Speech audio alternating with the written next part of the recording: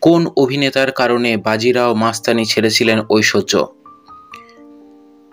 দীপিকা পাদুকন নন।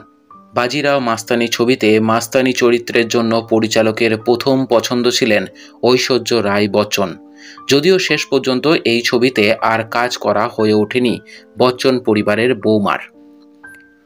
পরিচালক সঞ্জয় লীলা বনসালী পরিচালনায় অন্যতম জনপ্রিয় ছবি হল বাজিরাও মস্তানি।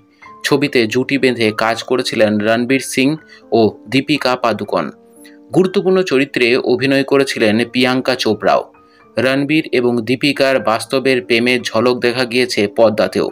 বলিউডের অন্যতম জনপ্রিয় জুটির রসায়নে মুগ্ধ হয়েছে দর্শক থেকে সমালোচক সবাই।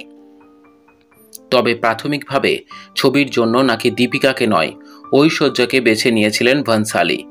মাস্তানির চরিত্রের জন্য নাকি চূড়ান্ত হয়ে গিয়েছিল বচ্চন পরিবারের বৌমা। কিন্তু ছবিতে শেষমেশ কাজ করা থেকে বিরত থাকেন তিনি। কেন? প্রাথমিকভাবে বাজিরাও মাস্তানি ছবির প্রস্তাব নিয়ে ভানসালি ঐশ্বর্যর কাছে গেলে তাতে রাজি হয়েছিলেন তিনি। এর আগে ভানসালি পরিচালিত হামদিল দে চুকে সানাম ও দেবদাস ছবিতে অভিনয় করেছিলেন তিনি। দুটি ছবিতেই প্রশংসিত হয়েছিল তার অভিনয়। ফলে বনসালির সঙ্গে ফের জুটি মধ্যে আপত্তি করেননি তিনি। তবে অন্তরায় হয়ে দাঁড়িয়েছিল ছবির নায়ক। সে কারণেই নাকি ছবিতে কাজ করতে রাজি হননি নায়িকা। শোনা যায়, ঐশ্বর্যার বিপরীতে সালমান খানকে বাজিরাও হিসাবে নির্বাচন করেছিলেন পরিচালক। অতীত অভিজ্ঞতার কথা মনে রেখেই নাকি সালমানের সঙ্গে কাজ করতে চাননি বচ্চন পরিবারের বৌমা। সালমানের নাম না নিলেও করণ জোহরের সঙ্গে এক সাক্ষাৎকারকে স্পষ্ট ভাষায় সেই কথাই জানিয়ে দেন তিনি।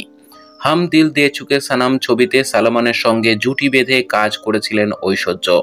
পদ্মার নেপথ্যেও সম্পর্ক তৈরি হয়েছিল সালমান এবং ঐশ্বর্যর। যদিও সেই সম্পর্কে বিশেষ সুখের ছিল না বলেই জানা যায়। দু হাজার সাত সালে অভিষেক বচ্চনের সঙ্গে গাঁট ছাড়া বাঁধেন ঐশ্বর্য। তারপর থেকে আর কখনো সালমানের সঙ্গে কাজ করেননি তিনি। আমাদের ভিডিও ভালো লাগলে অবশ্যই চ্যানেলটিকে সাবস্ক্রাইব করবেন। লাইক, শেয়ার এবং কমেন্ট করতে ভুলবেন না।